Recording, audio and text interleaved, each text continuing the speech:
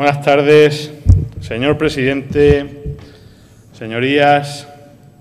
Culminamos esta tarde la tramitación de la ley de medidas tributarias para el ejercicio 2014. Y he de confesarles, he de confesarles algo. Uno pensaba que ya lo había visto todos los grupos de oposición, pero de nuevo, pues vuelvo a quedarme asombrado y perplejo. Es verdad que nada se puede esperar de quien nunca nada dio, pero señoría de la oposición, señor Navarro y señor Pujante, lamento profundamente la ausencia mayúscula del criterio que han mostrado en sus intervenciones. Y más aún, y más aún, en sus enmiendas, que una vez leídas son una enmienda a la totalidad de los discursos que esta tarde realizan en esta tribuna. Siguen empecinados en querer resolver los problemas que afronta nuestra comunidad autónoma por la vía de la presión fiscal, a sabiendas que esta medida tan solo contribuiría a un hundimiento de la actividad y del consumo. Y por otro lado, no sabemos muy bien si apuestan, en este caso desde el Partido Socialista, por la vía del endeudamiento, ya que mientras firman y comparten modificaciones constitucionales con el grupo del Partido Popular en esa búsqueda del equilibrio y la estabilidad presupuestaria, por otro lado, nos reclaman más y mejores servicios, más y mejores infraestructuras, más y mejor bienestar. Miren, por mucho que quieran ocultar el desarrollo de la región de Murcia en 18 años y las fortalezas que nos están permitiendo afrontar las dificultades que atravesamos con garantías, no lo van a conseguir. A pesar de que crean que las personas de nuestra región, como alguna vez han dicho también en esta tribuna, viven engañadas, son bastante más inteligentes de lo que ustedes se piensan. Por ello que valoren un proyecto de ley como el que traemos esta tarde para su aprobación aquí.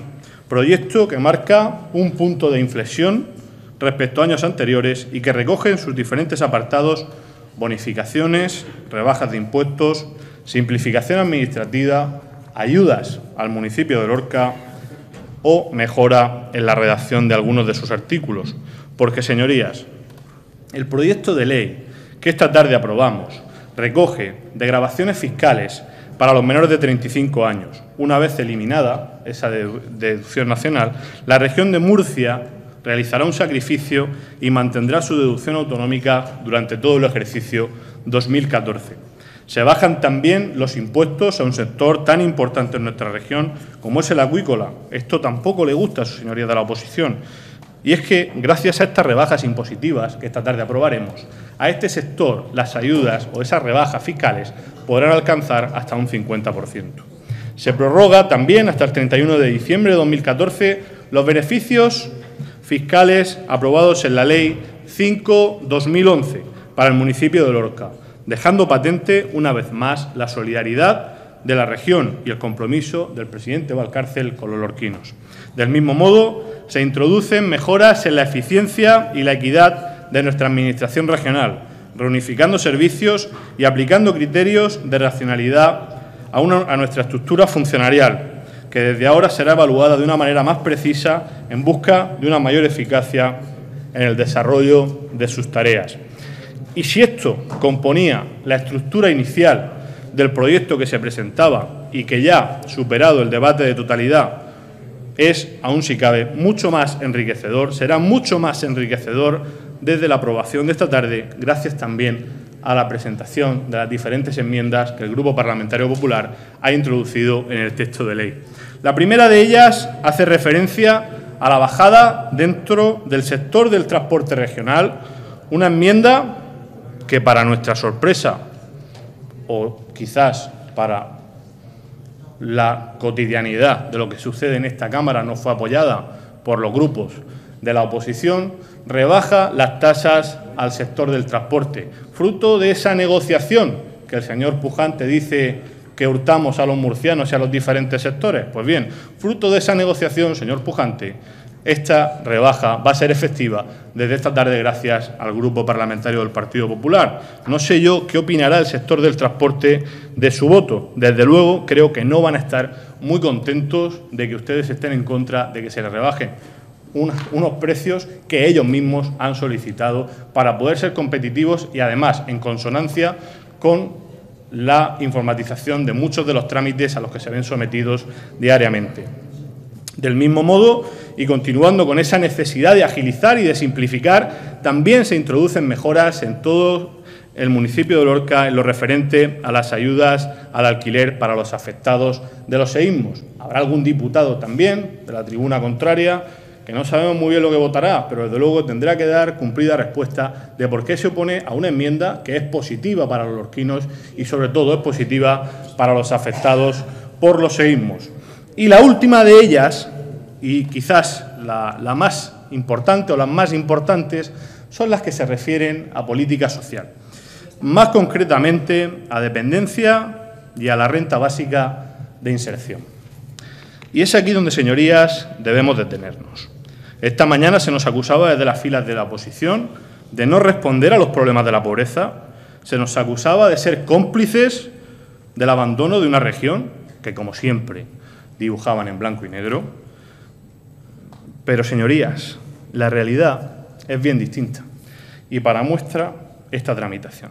Miren, el pasado jueves el Partido Popular presentaba tres enmiendas que mejoraban ostensiblemente, en primer lugar, la renta básica de emancipación y también la ley, perdón, la renta básica de inserción. Usted me ha entendido perfectamente, señora Retegui. Y también la ley de dependencia, dando mayor cobertura legal a la normativa y estableciendo entre los criterios para su percepción un valor catastral equivalente a 10 anualidades del salario mínimo interprofesional. Es decir, un valor catastral de que se fija en torno a los 90.000 euros. Del mismo modo, se corregían dos deficiencias, dos deficiencias en torno a la dependencia, para que en el cómputo de la prestación, por un lado, se percibieran los primeros días del mes, en aquellos meses en que caía efectivo, y por otro lado, para que aquellas personas que venían percibiendo esa prestación y fallecían en mitad del mes, cobraran el mes completo. Pues bien, hasta aquí todos coincidiremos, pero no fue así, no fue así, porque en esa tramitación, en esa tramitación de las diferentes enmiendas, que presentaba el Partido Popular, una, una diputada de la oposición, pues de nuevo volvía a acusarnos, volvía a acusar al grupo del Partido Popular de esa deslealtad, de querer acabar con la renta básica de inserción, de querer acabar con la dependencia. Nos acusaba, pues, como vienen haciendo continuamente, de ser un partido que se preocupa, como era señor Navarro, de sus amigos y de los ricos. Eso lo hacía una, diputada y además lo hacía desde el más absoluto de los desconocimientos, cosa y práctica habitual también en el grupo de la oposición al que me refiero. ¿Por qué? Porque esta diputada, eh, que intervenía rauda y veloz, eh, solo vino para debatir estos, estas tres enmiendas en concreto, nos acusaba de querer rebajar el valor catastral a 6.000 euros. Eh, yo dudo mucho que existan viviendas en la región de Murcia con un valor catastral de 6.000 de euros. Eh, dese en cuenta de la enorme barbaridad. Claro, eso es fruto del desconocimiento y fruto pues, de no haber estudiado, como no han estudiado ni la ley de medidas tributarias ni las enmiendas que ha presentado el Partido Popular. Miren, esta enmienda lo que intentaba era introducir mayores garantías para aquellos preceptores y para aquellos solicitantes en materia de renta básica de inserción. Pues bien, esto fue votado en contra. Al igual que también fue votado en contra las dos enmiendas relativas a la dependencia, acusándonos también de querer acabar con todo el sistema de la dependencia. Pero es peor, pero es peor. Es peor porque eh, si hay algo ruin, si hay algo ruin en, este mundo en el que todos nos dedicamos, eh, que es el de la política, es el de acudir a un medio de comunicación de manera malintencionada para hablar de terceras personas, y además haciéndolo mintiendo. Pues eso se hizo, o mejor dicho, se intentó con estas tres enmiendas. Y se acudió a un medio de comunicación con el interés de que esas personas que peor lo están pasando, ponerlas en contra del Partido Popular.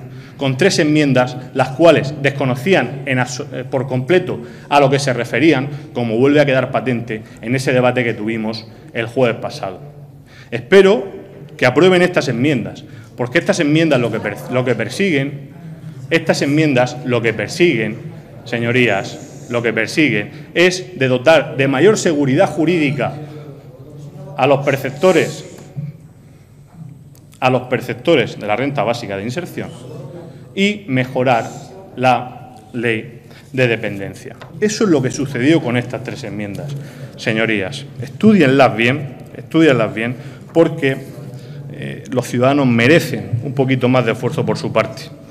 Eh, y pensarán que, que les realizo estas afirmaciones por, por, bueno, porque defiendo unas ideas. Bueno, vayamos a otro apartado dentro de la ley.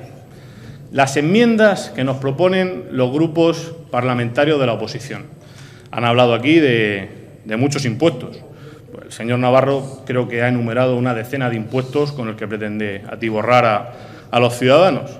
Los primeros de ellos, tanto el de patrimonio como el de sucesiones, eh, el de patrimonio hay que hacer una parte, porque desde el año 2011 nos han pedido que aumentemos el impuesto del patrimonio desde el 5% al 25%. Yo les digo a ustedes que si la, que la legislatura en el año 2015 llegarán al 100%. Es decir, ese ritmo que llevan imparable de subida de impuestos alcanzarán el 100%. No, lo duden ustedes. Pues bien, de aplicar ambos impuestos en las diferentes escalas y en las diferentes tablas que ustedes nos proponen, nos situaremos como la primera autonomía de España en presión fiscal la primera, no la segunda, no estaríamos en la media, no, la primera, es decir, por encima del gobierno socialista comunista al que mencionaba el señor Navarro de Andalucía, muy por encima, muy, muy, muy por encima. Es decir, seríamos la primera autonomía confiscatoria de España. Eso es lo que persiguen nuestros partidos de la oposición. Evidentemente nosotros pues no podemos apoyarles esas enmiendas porque además entendemos que son contraproducentes para la economía de nuestra región y para esa inercia positiva que es la que buscamos todos. Esto lo único que haría sería contraer nuestra economía aún más, si cabe, señorías. Y claro, también, mm, mm, claro, cuando uno analiza estos impuestos que, pretende la, oposición que, apliquemos aquí, como puede ser el de, el de patrimonio o el de, o el de o el aumento del IRPF, dice, claro, es que persiguen un bien social, es que lo que pretenden es aumentar nuestro estado del bienestar. Pero qué sorpresa, señorías, que en esas mismas enmiendas que presenta el Partido Socialista, quiere que introduzcamos una bonificación a la ley de sucesiones que supondría, señor Navarro, y esto no se lo ha estudiado bien, no se lo ha estudiado bien, supondría, señor Navarro, una merma de 40 millones de euros. De 40 millones de euros. Hombre, yo no sé, yo no sé si es disparate o no es disparate, pero por un lado nos piden que aumentemos los impuestos, cosa que supondría en torno a unos 20 millones de euros, y por otro lado nos presentan una merma de 40. Y luego todas sus enmiendas las fían a los diferentes impuestos que quieren aplicar. Señor Navarro, explíqueme cómo, cómo es posible que con una merma, con una merma en sus enmiendas de 20 millones de euros a los presupuestos de la Comunidad Autónoma de la Región de Murcia, quiere usted que mantengamos los servicios como es la política social, la sanidad o la educación. Es imposible, señor Navarro. Es imposible. ¿Y sabe por qué es imposible? Porque no han estudiado y no han hecho su trabajo ni han hecho los deberes. Y ese es el problema que tenemos esta tarde aquí con sus enmiendas, que por eso son imposibles. Señorías, la Del mismo modo, del mismo modo, señorías, que llega aquí el señor Navarro y quiere que apliquemos el impuesto de, sobre eh, las actividades medioambientales. Claro, hay una cosa que se le olvida al señor Navarro decir que ese impuesto repercute sobre los ciudadanos. ¿Sabe por qué? ¿Sabe por qué, señor Arretegui? ¿Sabe por qué? Se lo voy a explicar, se lo voy a explicar. Se ha ganado usted que se lo explique. Mire, el del Real Decreto Ley 20-2012, léaselo, léaselo, que no se lo ha leído, léaselo, léaselo, léaselo.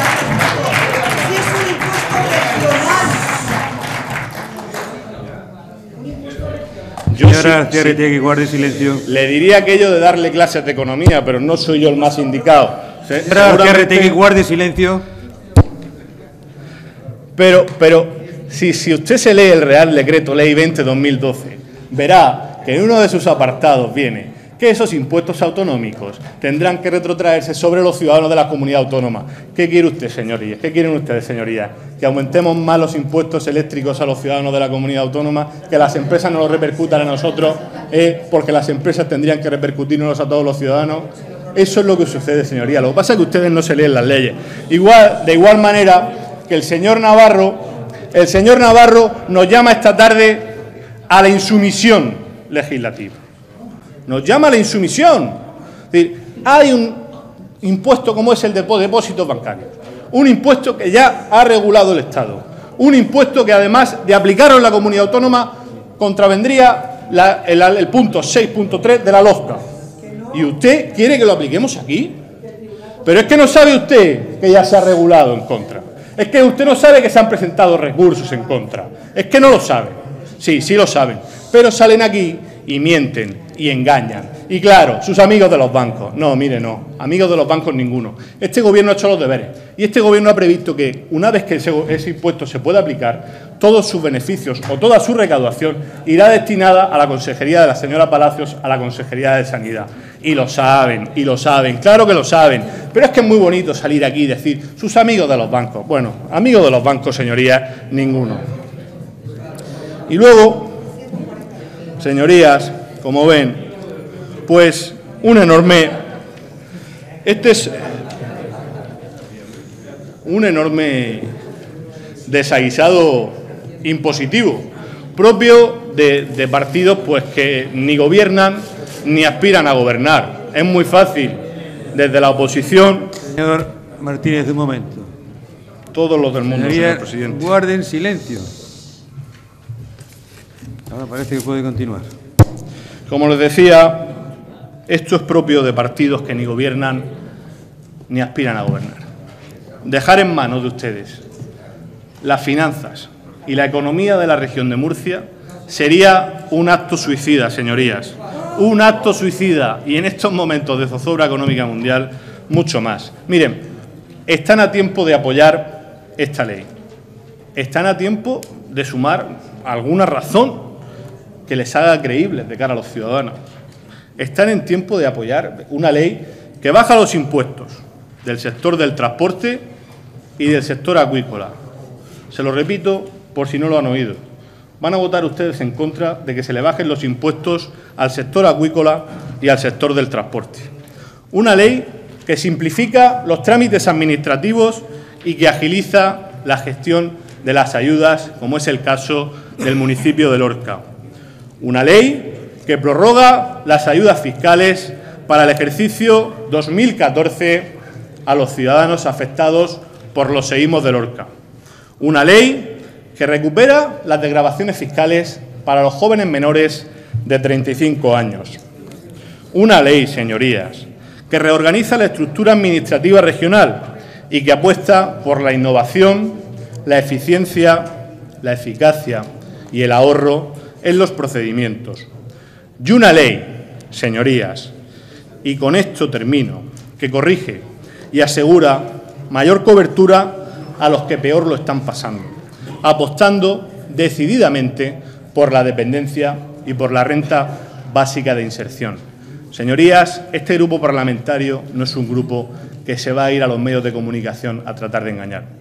Este grupo parlamentario no es un grupo ruin que va a escondidas a hablar con los periodistas a decir que se va a perjudicar a los más débiles. Este grupo parlamentario lo que hace es hacer sus deberes. Este grupo parlamentario ha presentado esta tarde una ley que es buena para los murcianos, que es buena para los que peor lo están pasando.